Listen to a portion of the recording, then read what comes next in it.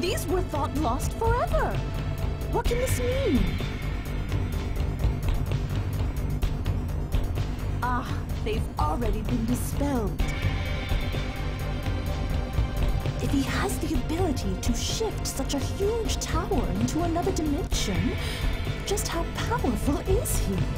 Really powerful. He's really strong. He's really fucking awesome. Even though we killed him really easily, don't it doesn't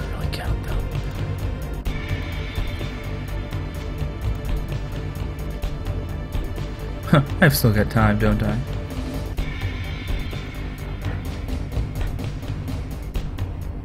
This is Lezard's.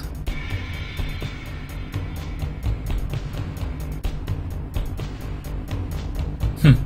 His penmanship hasn't gotten any better, that's for sure. Can't tell if he's writing in code or just can't write at all.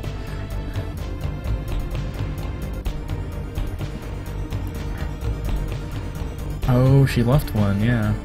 Man-made life form? It is! It's a homunculus! Hmm. I didn't know he was into little girls. Why else would he make this?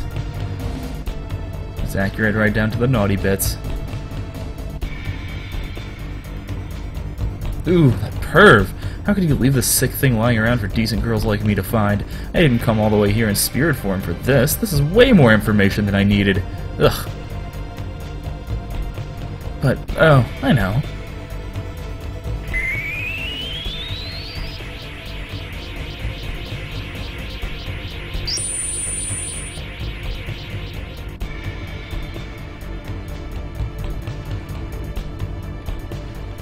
Well, this might be useful for a practice autopsy at least.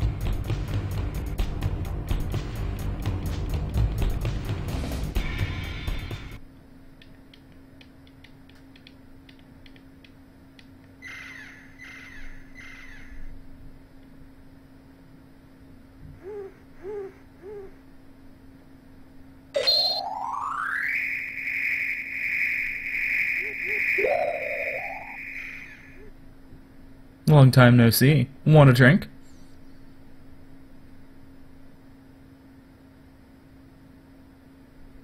So how'd you get so powerful anyway? A magic question right off. You haven't changed a bit. Lezard, you did her in, didn't you? I'm sorry? Alright, alright. I'll tell you. You're the one who hasn't changed. Whatever. Get to the point. The Philosopher's Stone. I found it. Oh, what?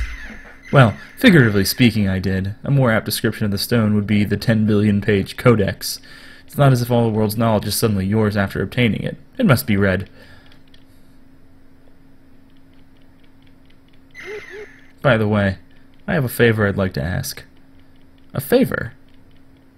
Misty, you took my homunculus, didn't you? I'd like it back, if you don't mind terribly.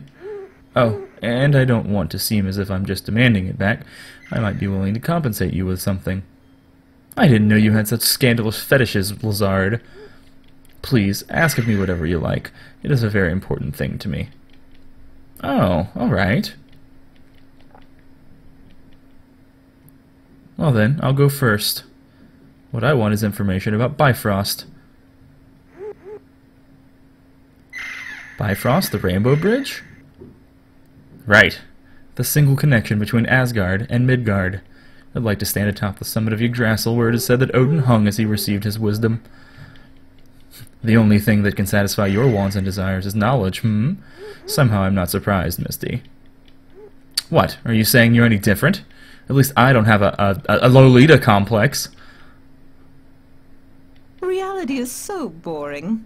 I'd choose to sleep forever if it'd mean I'd never stop dreaming.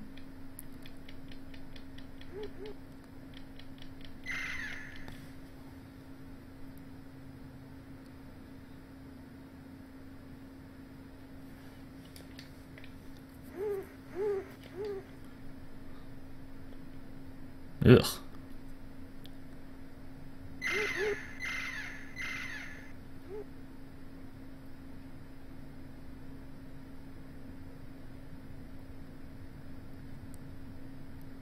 Said that the Rainbow Bridge is in the forest of the World Tree.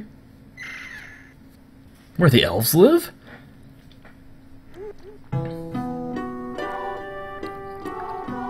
That's right. Wh- that can't be. Oh. Really? Ooh, those elves piss me off. Who do they think they are, anyway? They never leave that damn forest and keep totally to themselves. I wish they'd all just crawl into a hole and die somewhere. Very nice. Oh my, that would be very bad indeed. Oh yeah? Why? You know what the elves are responsible for, don't you?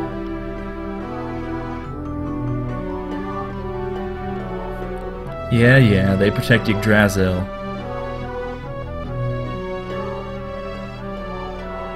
I know. If the world tree to wither and die, so would the world.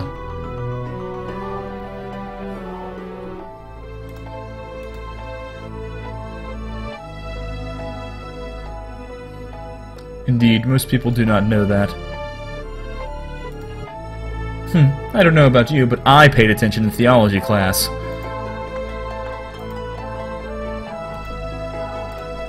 Just listen to me, please. During the process of development on my homunculi, I learned something very interesting.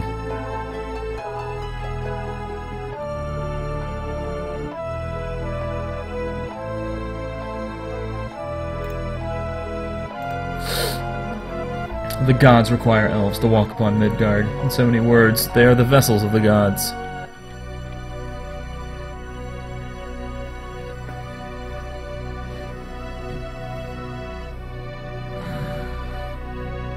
Yeah, and? To get further to the point, elves themselves can be considered gods. Also, I've demonstrated that children can be born between humans and elves.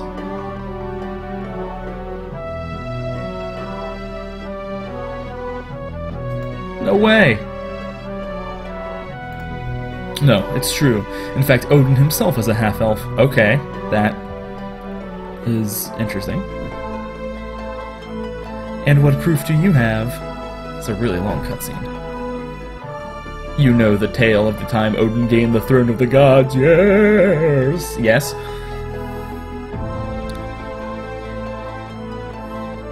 You mean the creation myth? Yeah, that would. Why is that capitalized? Come on now.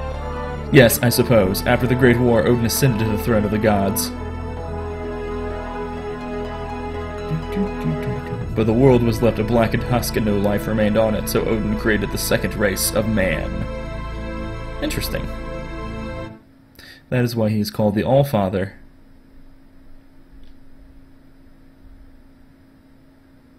You're boring me to death, Lezard. Uh-oh. That's foreshadowing. Odin used to be a rather weak god indeed. So then, how did he manage to become Lord of the Gods? Did you never wonder that, Misty? Um, well, now that you mention it,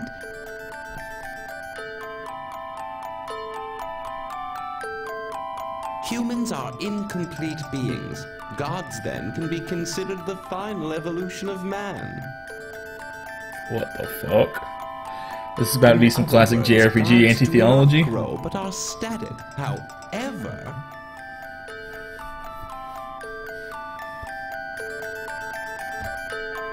Odin was different because he's a half elf. That's right. Because Odin's divine blood was mixed with mortal, he has the ability to grow, just as we humans do.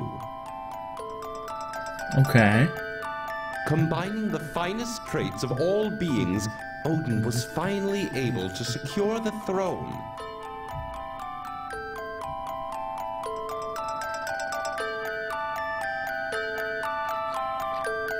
Hmm.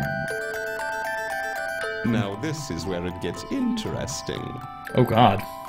His voice is so good. His voice acting's so Gods good. use the vessels we call elves to travel through Midgard to protect the world tree. You're repeating yourself, Lezard. Listen well, Misty. It's possible to transfer human souls into elves.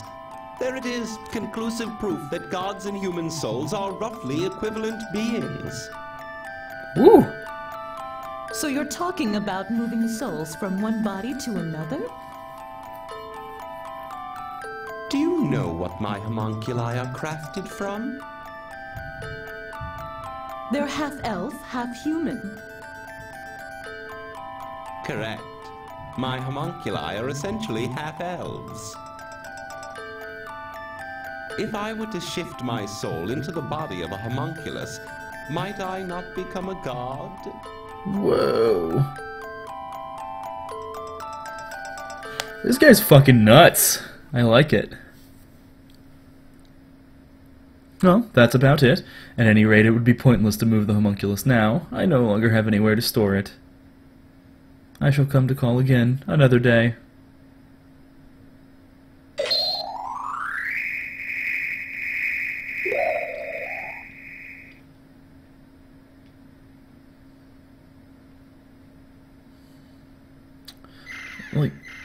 This is...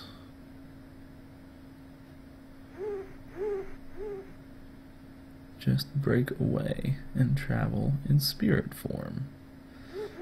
Hmm.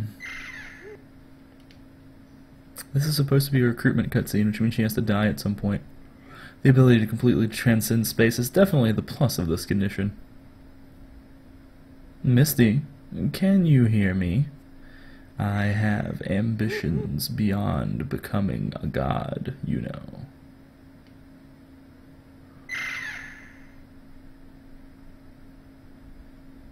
I am able to refine magics that will allow me to seal a divine being within a homunculus. I will be able to challenge even the gods themselves.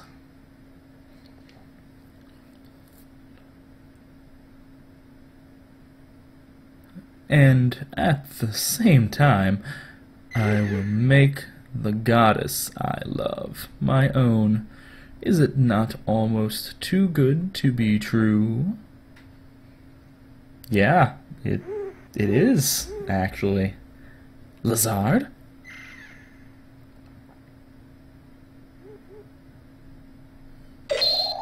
Oh no.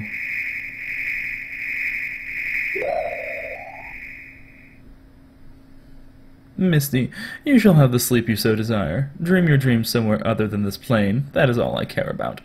Does this not satisfy you? Oh no.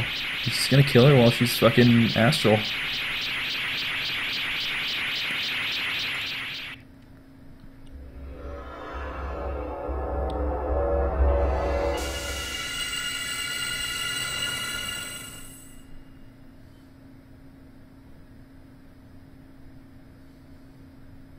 Your existence was a bit of a threat to me, I must admit.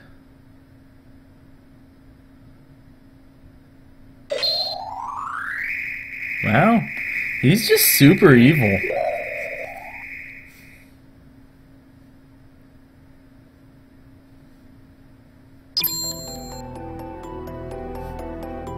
Would you care to journey with us?